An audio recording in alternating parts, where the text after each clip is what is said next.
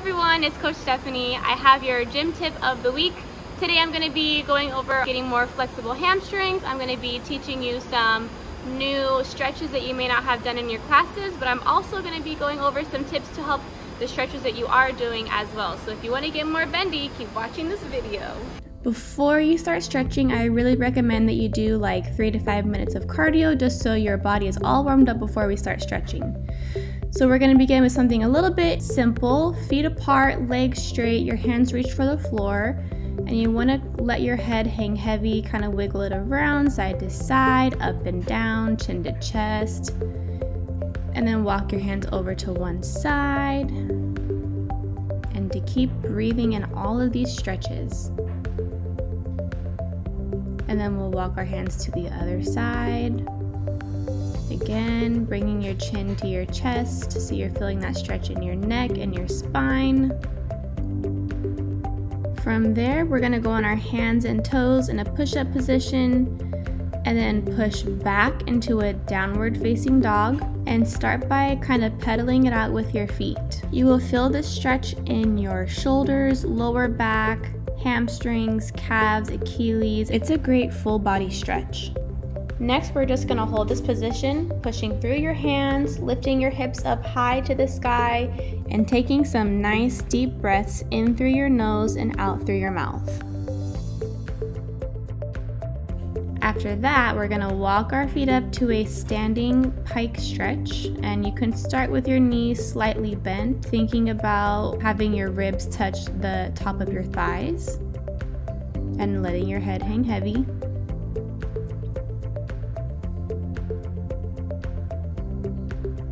And then we're gonna squat down just to kind of release the tension in your hamstrings and then push back up, this time with straighter legs. Keep breathing in and out. And then we're gonna do a halfway lift so you can either put your hands on your shins, on your thighs, whatever feels comfortable, making your back nice and flat like a tabletop. And then you're gonna fold forward again. You can repeat those steps as many times as you like.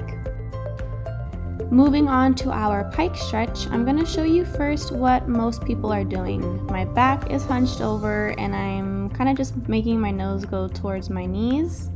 Instead, I want to sit up tall first and think about hinging at the hips and pulling your ribs towards your knees and pulling your nose past your knees.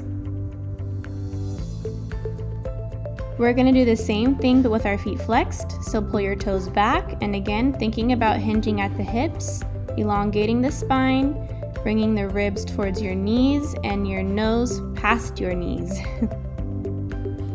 All right, then for the next stretch, this one prepares you for your splits. Put one leg out, leg is straight. Again, you might normally hear your coach say put your nose on your knee, but this is kind of making my back a little hunched.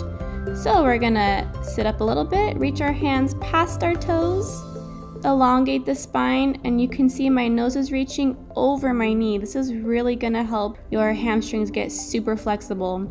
And once again, we're gonna pull up the front foot, adding an extra stretch to the calf. Go ahead and repeat the same thing on the other leg. I hope you guys learned something new from this video and it's helping you get more flexible so your gymnastics will be a lot easier. We'll see you in the next gym tip. Bye!